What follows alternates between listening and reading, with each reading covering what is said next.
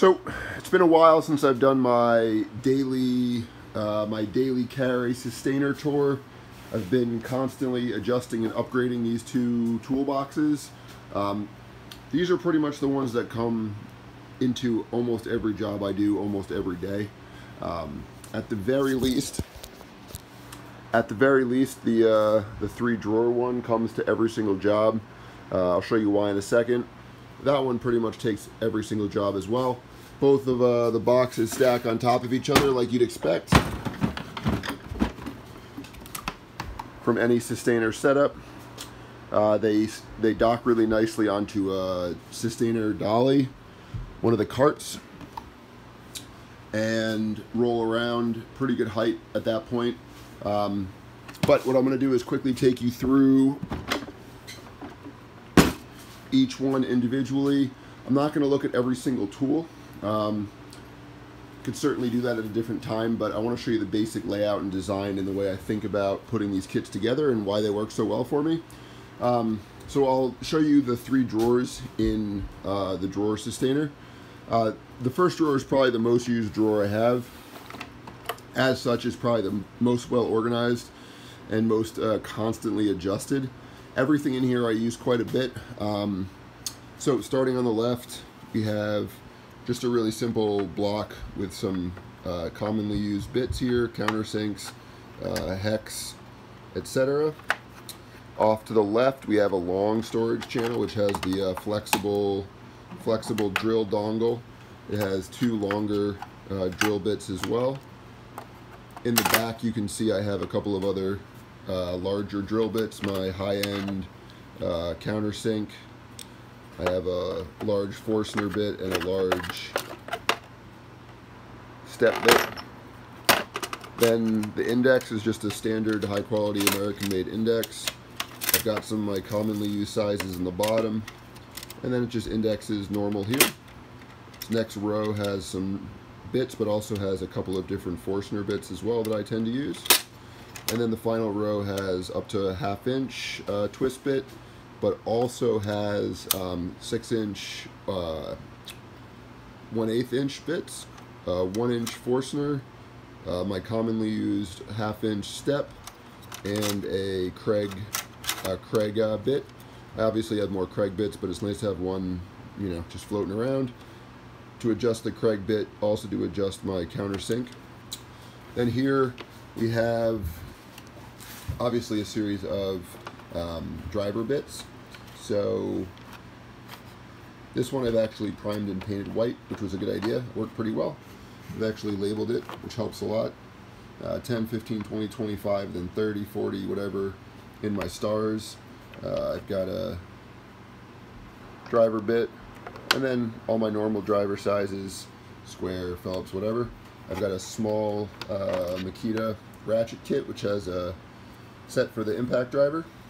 I also have a tiny little ratchet, which is great for uh, obviously using as a ratchet, but it's great for driving in tiny little spaces. With one of these small heads, you can fit almost anywhere.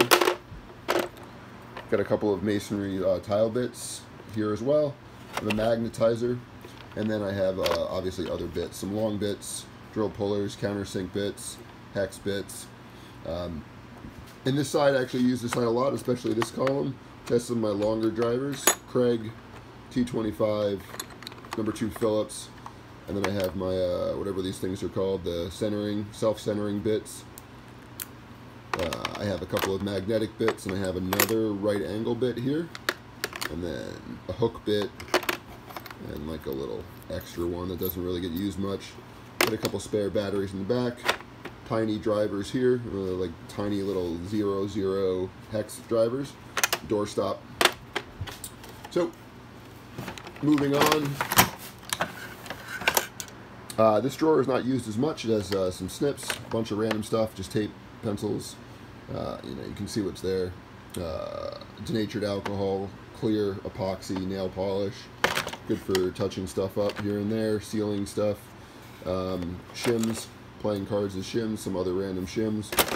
Uh, microfiber rag, roll of high quality masking tape, a couple sanding pads, basic spray lubricant gloves, scouring pad, like a scraping scraping tool in there. And then my bottom one, also frequently used, it houses a Bosch Flexi Click driver.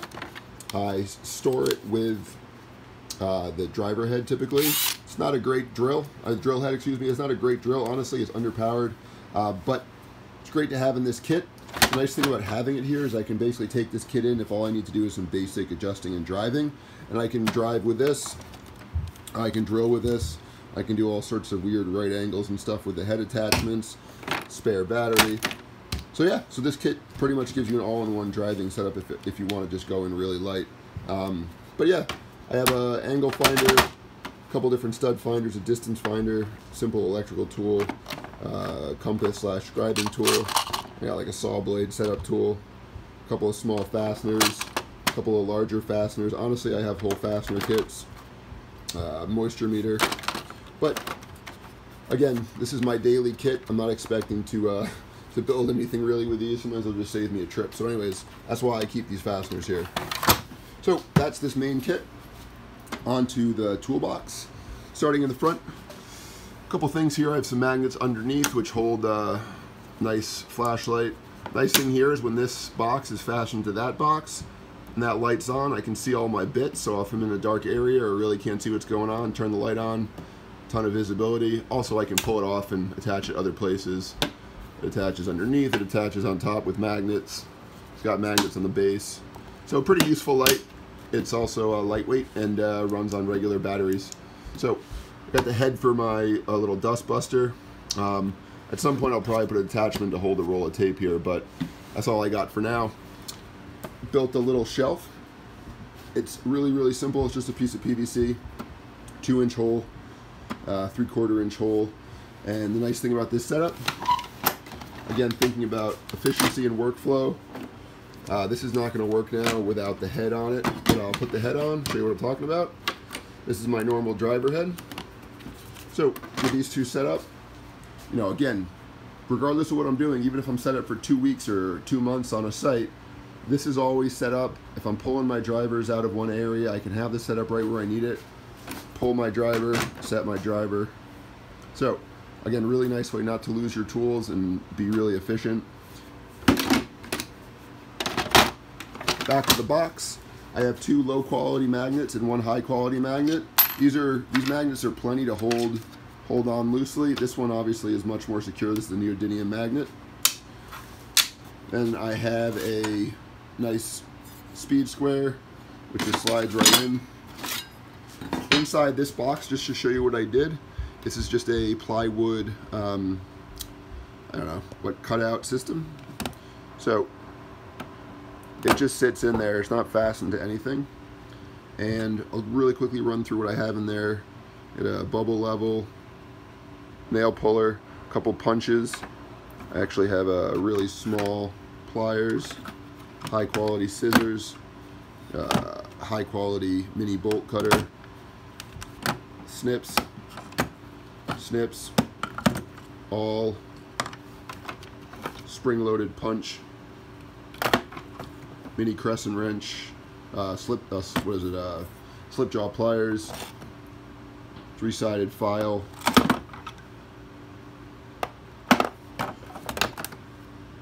nice Wera screwdriver here, multi multi-headed. Can pop out this head to actually use it on a drill driver as well.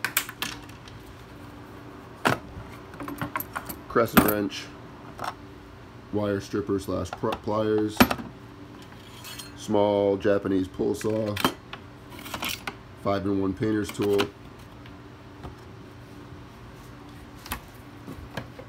and then see if I can do that. Okay. I also have a bunch more stuff jammed in there. Show you what I got. Got a mini carpenter square. Honestly, I find myself using this less and less. Uh, I've swapped it out for some other tools, so that might get jettisoned, but it's nice to have in there. I have a uh, small extendable magnetic reaching tool. I rarely use it, but the one time you need it, it's invaluable. And then on the other side, something somewhat similar. Uh, my daily lightweight driver stays in there all the time. Got a small block plane a couple rolls of high quality masking tape again, single pencil, a shorty hammer, which has a little magnet and a resting place. Again, huge piece of what makes these toolboxes such a pleasure to use is I don't have to move anything to get to anything. I'm not wasting any time moving one tool out of the way to get to another tool. Every single tool can be pulled without moving any other tool. Everything has a place, nothing gets lost. So onto this side, 16 inch Stabila level, dust brush, head for my dust buster. Inside there I keep a couple of uh, solo cups, quite useful, holding parts, mixing up paints or other solvents, very useful. And then on the outside we have flat metal file, small pry tool, FastCap lefty righty 16 foot uh, tape measure, another magnet on this side that normally holds another level style tool. It's also great for holding my clamp. Same thing on this side. So as we move to this side, we have another file. I have a Mora chisel, which is also a simple blade. I just modified the, the sheath that came with the Mora and just screwed it into the Systainer. Super secure. This is just a little Systainer box with a magnet. So, believe it or not, the magnet on the other side just fell off. Normally there's a magnet right there on the other side. It just sticks right there. But that magnet just released. It was just being held on by glue and the glue keeps failing. So anyways, um, but that holds a headlamp. Small headlamp, really strong from Fenix. We got some, whatever the industrial post-it notes here. We've got a small Phillips head driver on this side, which I rarely use, but it's there anyways. And on the back, I'm actually going to rotate the whole thing because my lighting is a little bit biased towards the front. So on the back, I got a couple more tools. Um, I have one of these big flexi things, which is just fastened through the Systainer, and it holds a couple of cut up old yoga pads, yoga mats, thin, light, great for kneeling on. They're great for basic site protection. Again, this is for small and quick setups, but they're really dar darn useful all the time.